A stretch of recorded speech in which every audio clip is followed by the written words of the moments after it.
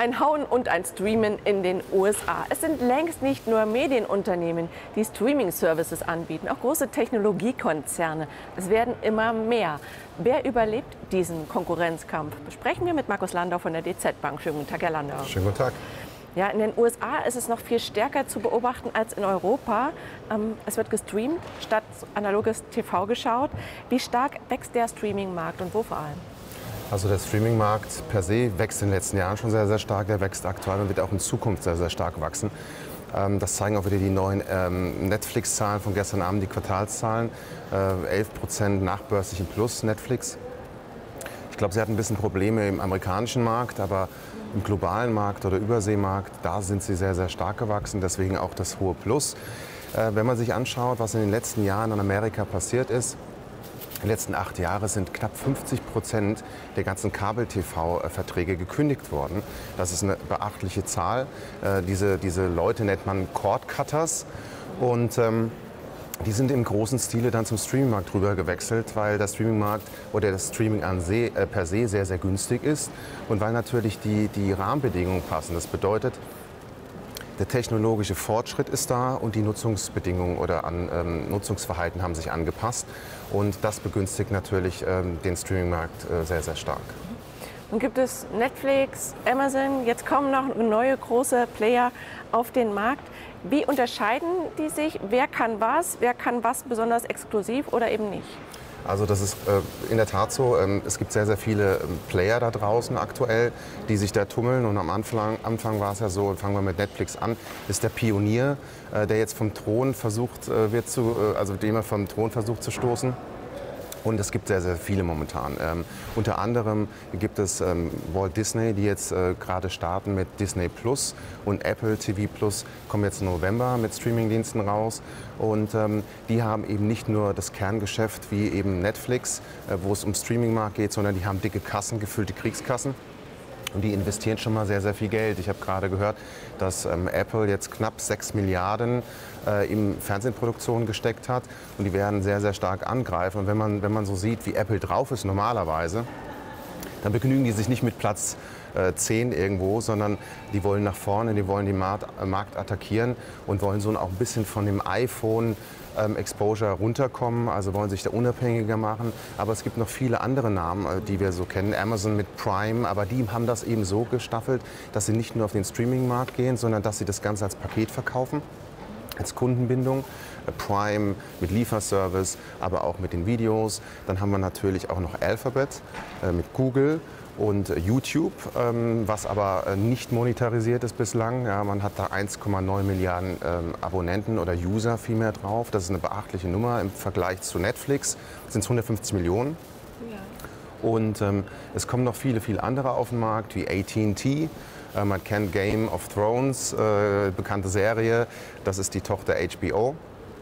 Now, die auch ähm, an den Markt kommen.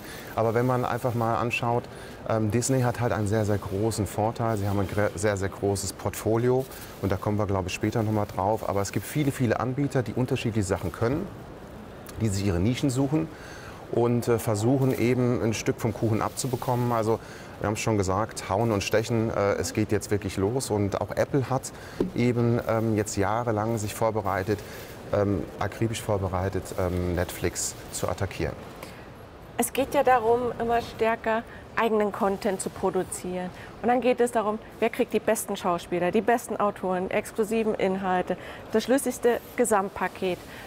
Das kostet auf der einen Seite, das ist auf der anderen Seite das, was aber ein Alleinstellungsmerkmal sein kann. Mhm. Wer hat da im Moment die besten Überlebenschancen, wenn wir sehen, Netflix hat jetzt zwar gute Quartalzahlen mit fast sieben Millionen neuen Nutzer, ähm, aber das vierte Quartal, Sie sagten es schon, da kommen Disney und Apple mit ihren neuen Diensten, die waren noch gar nicht auf dem Markt.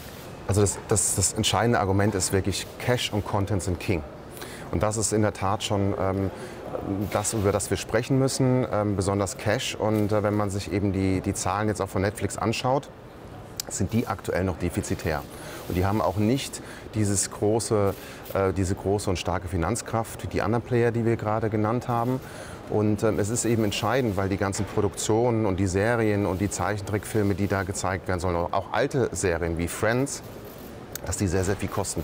Streamingdienste müssen viel Geld in die Hand nehmen, um eben ihr Portfolio aufzubauen. Und ähm, am Ende des Tages ist es eben so, Disney hat schon viele Eigenproduktionen mit Pixar, mit Marvel, mit den Zeichentrickfilmen und hat obendrein eben noch ein eine starke Finanzkraft. Also sie haben hohe Cashflows, die positiv sind, im Gegensatz zu Netflix. Und das hilft. Und genauso ist es bei Apple. Und wenn man da mal die Zahlen nimmt, was, wie die Cashflows sind, dann ist bei Netflix minus dreieinhalb Milliarden. Und äh, bei ähm, Disney sind es knapp 10 Milliarden plus und bei Apple sind es 60 Milliarden. Das ist ein riesen, riesen Unterschied. Und da tut es auch nicht so weh, wenn man mal 6 Milliarden nimmt aus der Portokasse als Apple und ähm, dann in Fernsehproduktionen steckt, die ja immer teurer werden.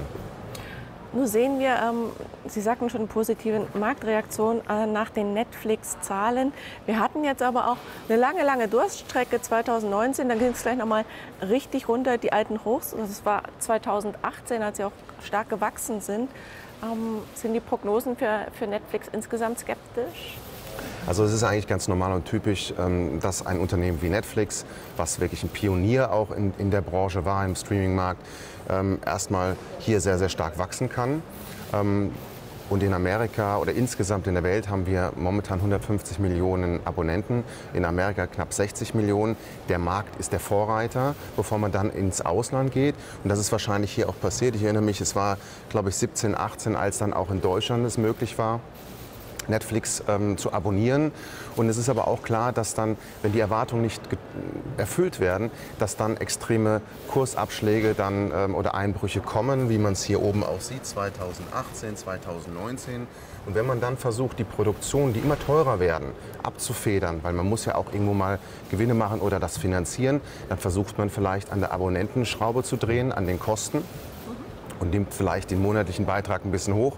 Und was dann passiert ist, ähm, plötzlich mal 150.000 bis 200.000 Abonnenten verloren, weil sie im nächsten Monat gekündigt haben und gesagt haben, naja, ich gehe doch vielleicht zu Amazon oder woanders auch hin. Und das wird in Zukunft einfach viel schwieriger werden, weil einfach sich deutlich mehr tummeln werden im Markt wettbewerbbeliebtes oder konkurrenzbeliebtes Geschäft. Ja. Und es wird natürlich dann auch für, für Netflix schwierig werden, die jetzt so diese Alleinstellungsmerkmal hatten, auf dem Thron saßen.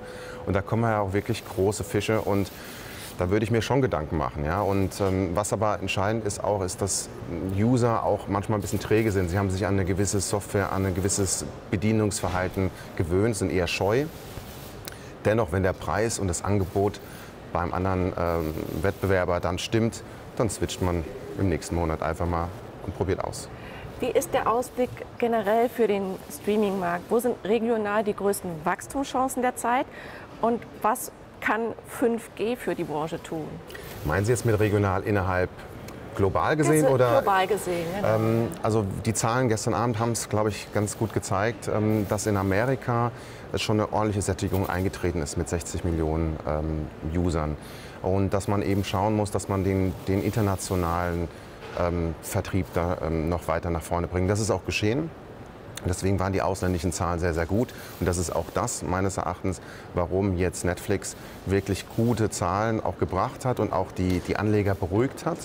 Aber die wissen eben auch ganz klar, dass da wirklich Konkurrenz in den Markt kommt. Und da muss man aufpassen, ähm, was die nächsten Monate Jahre dort passiert. Ähm, haben das ja schon in anderen Branchen gesehen und bezogen auf die Frage, was passiert mit 5G. Also der Vorteil von 5G ist eben, äh, dass man die Möglichkeit hat, ähm, und das ist ja der Hintergrund von, von Streaming, überall, überall, jederzeit äh, sich diese Inhalte anzuschauen.